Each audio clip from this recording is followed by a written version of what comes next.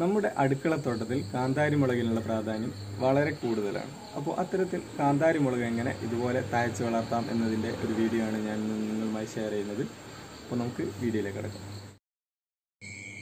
നമ്മൾ സാധാരണ മറ്റ് വിത്തുകളൊക്കെ പാകുന്നത് പോലെ തന്നെ അതായത് ചീര വെണ്ട തക്കാളി ഇതിന്റെയൊക്കെ വിത്ത് പാകുന്നത് പോലെ ഒരു പഴുത്ത കാന്താരിയിൽ നിന്ന് വിത്തെടുത്ത് അത് ജസ്റ്റ് മണ്ണിലൊന്ന് പാകി കൊടുത്താൽ മാത്രം മതി. അത് മുളച്ച് വന്നോളും. പിന്നെ ഇത് മുളച്ച് വന്നതിന് ശേഷം ഒരു നാലോ അഞ്ചോ ഇല വന്നു കഴിഞ്ഞാൽ നമുക്കിത് ഗ്രോ ബാഗിലേക്കോ അല്ലെങ്കിൽ മണ്ണിലേക്കോ ഇതുപോലെ ചട്ടിയിലേക്കോ ഒക്കെ നമുക്ക് മാറ്റി നടാവുന്നതാണ്. ഇത് മാറ്റി നടുന്ന സമയത്ത് അടിവളമായിട്ട് നമുക്ക് ചാണകപ്പൊടിയും അതുപോലെ തന്നെ കീടങ്ങളുടെയൊക്കെ ശല്യം ഒഴിവാക്കാൻ വേണ്ടി കുറച്ച് വേപ്പിൻ പിണ്ണാക്കും കൂടെ ഇതിലേക്ക് ചേർത്ത് കൊടുക്കാം. കൂടുതൽ വളങ്ങളൊന്നും ഇതിനാവശ്യമില്ല. എല്ലുപൊടി കടല പിണ്ണാക്ക് ഇങ്ങനെ കണ്ട വളങ്ങളൊന്നും ഞാനിതിന് ഇട്ട് കൊടുത്തിട്ടില്ല. കാന്താരി ഇതുപോലെ തയ്ച്ച് വളരാനായിട്ട് ഞാൻ വളമായി ഏറ്റവും കൂടുതൽ ഇട്ട് കൊടുത്തത് നമ്മുടെ അടുക്കളയിൽ ഉണ്ടാകുന്ന പച്ചക്കറി വേസ്റ്റാണ്. ഇത് ഒരാഴ്ച ബിന്നിൽ മൂടി വെച്ച ശേഷം ഇതിന്റെ തടത്തിൽ നിന്ന് മണ്ണ് കുറച്ച് നീക്കി പച്ചക്കറി വേസ്റ്റ് ഇട്ട് മൂടി കൊടുക്കും. അതാണ് ഇതിന്റെ ഏറ്റവും കൂടുതൽ തയ്ച്ച് വളരാനായിട്ട് ഇതിനെ സഹായിക്കുന്നത്. ഒപ്പം തന്നെ അറവ് ചോര ഡയല്യൂട്ട് ചെയ്തിട്ട് നമ്മൾ ഇതിലേക്ക് ഒഴിച്ചു കൊടുക്കും. വേനൽക്കാലത്ത് നമ്മളിത് നനച്ചു കൊടുക്കുന്ന സമയത്ത് ഇതിന്റെ ചുവട്ടിലെ മണ്ണ് നീങ്ങി ഇതുപോലെ വേര് പുറത്ത് വരാനുള്ള സാഹചര്യം നമ്മൾ ഒരിക്കലും ഒരുക്കി കൊടുക്കരുത്. അത് ഇതിന്റെ വളർച്ചയെ നന്നായി മുരടിപ്പിച്ച് കളയും. ഇതുപോലെ വേര് പുറത്ത് കാണുന്ന സമയത്ത് നമ്മൾ മണ്ണ് ഇട്ട് മൂടി കൊടുക്കണം.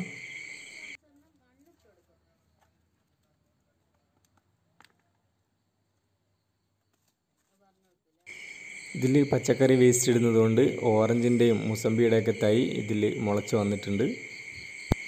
സാധാരണഗതിയിൽ ഇതിന്റെ തണ്ടിലും ഇലകളിലൊക്കെ ആയിട്ട് ഉറുമ്പിന്റെ ശല്യം ഉണ്ടാകാറുണ്ട്. അതിന് കൂറച്ചോക്ക് ഞാൻ ഇതുപോലെ വരഞ്ഞു കൊടുക്കാറാണ് പതിവ്.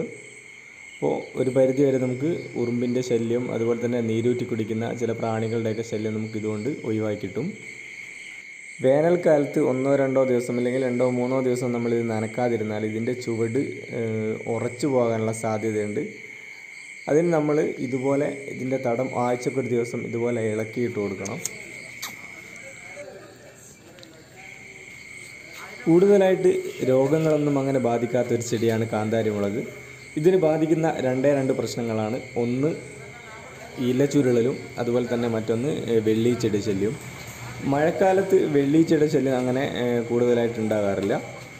വേനൽക്കാലത്താണ് ഇത് ഏറ്റവും കൂടുതൽ ഉണ്ടാകുന്നത്. അത് നമുക്ക് നനയ്ക്കുന്ന സമയത്ത് നമ്മൾ ഇതിന്റെ മുകളിലൂടെ വെള്ളം ചീറ്റി നനച്ചു കൊടുക്കുകയാണെങ്കിൽ വെള്ളീച്ചയുടെ ശല്യം ഒരു പരിധി വരെ നമുക്ക് ഇല്ലാതാക്കിയെടുക്കാം. പിന്നെ കാന്താരി കർഷകരെ ഏറ്റവും കൂടുതൽ അലട്ടുന്ന മറ്റൊരു പ്രശ്നമാണ് ഇതിന്റെ ഇല ചുരുളൽ രോഗം എന്ന് പറയുന്നത്. അതിന് നമുക്ക് മെഡിക്കൽ ഷോ സ്റ്റോറുകളിലൊക്കെ ലഭിക്കുന്ന ഹൈഡ്രജൻ പെറോക്സൈഡ് അത് നമ്മുടെ കാലിന്റെ നഖത്തിന് കുഴിനഖത്തിനൊക്കെ നമ്മൾ ഉപയോഗിക്കുന്ന ഹൈഡ്രജൻ പെറോക്സൈഡ് നമുക്കൊരു പത്ത് എം എൽ ഒരു ലിറ്റർ വെള്ളത്തിൽ കലക്കി നമുക്കിതിന് തളിച്ചു കൊടുക്കാവുന്നതാണ്. പിന്നെ ചെണ്ടുമല്ലിക എന്ന് പറയുന്ന ഈ ഒരു ചെടി ഇതിന്റെ ചുവട്ടിൽ നമ്മൾ നട്ടു കൊടുക്കുകയാണെങ്കിൽ ഇതിന്റെ സ്മെല്ല് കൊണ്ട് മറ്റുള്ള പ്രാണികളും അതുപോലെ തന്നെ പാറ്റകളൊന്നും ഇതിനെ ആക്രമിക്കാനുള്ള സാധ്യത വളരെ കുറവാണെന്ന് പഴമക്കാർ പറയുന്നത് കേട്ടിട്ടുണ്ട്.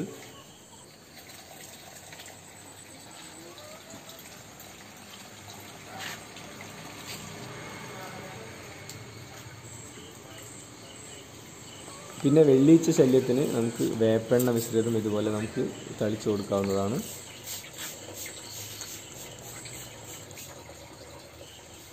കാന്താരി നട്ട് ഏകദേശം ഒരു മൂന്ന് മാസമാകുമ്പോഴേക്ക് ഇതുപോലെ പൂവിടാൻ തുടങ്ങും.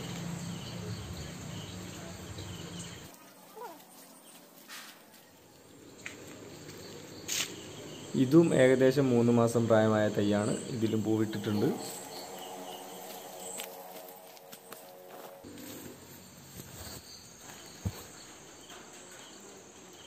ഇത് ഞാൻ നട്ട തൈയല്ല ഇത് കിളികൾ കൊത്തി ഇതിന്റെ വിത്ത് വീണ് ഇവിടെ മുളച്ചതാണ്. ഇതിലിപ്പോൾ നന്നായിട്ട് കായ ഉണ്ടായിട്ടുണ്ട് ഇതുപോലെ പച്ച നിറത്തിലുള്ള കായ്കൾക്കാണ് നമുക്കിപ്പോൾ മാർക്കറ്റിൽ കൂടുതൽ വില ലഭിക്കുന്നത്. ഏകദേശം എണ്ണൂറ് തൊള്ളായിരം രൂപയോളം നമുക്ക് കിലോക്ക് വില വരുന്നുണ്ട്. കാന്താരിയുടെ ആരോഗ്യ ഗുണങ്ങളെപ്പറ്റി പറയുകയാണെങ്കിൽ വിറ്റാമിൻ സിയുടെ കലവറയായ കാന്താരി മുളകിൽ ഓറഞ്ചിൽ അടങ്ങിയതിന്റെ ഏഴ് ഇരട്ടിയാണ് കാന്താരി മുളകിൽ അടങ്ങിയിട്ടുള്ളത്. അതുകൊണ്ട് തന്നെ ഇത് ഉപയോഗിക്കുന്നത് ഒരിക്കലും തന്നെ നമുക്ക് ദോഷമായി ശരീരത്തിന് ദോഷമായി നമുക്ക് മാറില്ല. നമ്മുടെ ശരീരത്തിലെ ചീത്ത കൊളസ്ട്രോൾ കുറയ്ക്കാൻ വളരെയധികം സഹായിക്കുന്ന ഒന്നാണ് കാന്താരി. മലബന്ധം ഇല്ലാതാക്കാനും അതുപോലെ തന്നെ വിശപ്പ് വർദ്ധിക്കുകയും അതുവഴി കൂടുതൽ ഭക്ഷണം കഴിക്കാൻ ഇത് കാരണമാവുകയും ചെയ്യുന്നു. ദഹന പ്രശ്നങ്ങൾക്ക് കൃത്യമായ പരിഹാരം കാണാൻ കാന്താരി മുളകിന് കഴിയും. മാത്രമല്ല ആമാശയത്തിലെ പ്രശ്നങ്ങൾ പരിഹരിക്കുകയും വയറ്റിലെ അസ്വസ്ഥതകൾ ഇല്ലാതാക്കാനും ഇത് സഹായിക്കുന്നുണ്ട്. ഇത് ഞാൻ വീട്ടിലെ രണ്ട് തൈയിൽ നിന്ന് വിളവെടുത്ത കാന്താരി മുളകാണ് ഇതുപോലെ നമ്മൾ നന്നായിട്ട് വളമിട്ട് പരിചരിക്കുകയാണെങ്കിൽ ഏകദേശം ഒരു നാല് വർഷം വരെ നമുക്ക് നന്നായിട്ട് വിളവ് ലഭിക്കും. മാത്രമല്ല നാലോ അഞ്ചോ അല്ലെങ്കിൽ അഞ്ചോ പത്തോ തൈ നമ്മൾ വെക്കുകയാണെങ്കിൽ വ്യാവസായിക അടിസ്ഥാനത്തിൽ തന്നെ നമുക്കിത് കൃഷി ചെയ്യാവുന്നതാണ്. അപ്പോൾ ഇന്നത്തെ വീഡിയോ നിങ്ങൾക്ക് ഇഷ്ടപ്പെട്ടാൽ ലൈക്ക് ചെയ്യുക ഷെയർ ചെയ്യുക അതുപോലെ തന്നെ ചാനൽ സബ്സ്ക്രൈബ് ചെയ്യാത്തവരുണ്ടെങ്കിൽ സബ്സ്ക്രൈബ് ചെയ്യുക. അപ്പോൾ പുതിയ മറ്റൊരു വീഡിയോയുമായി കാണാം.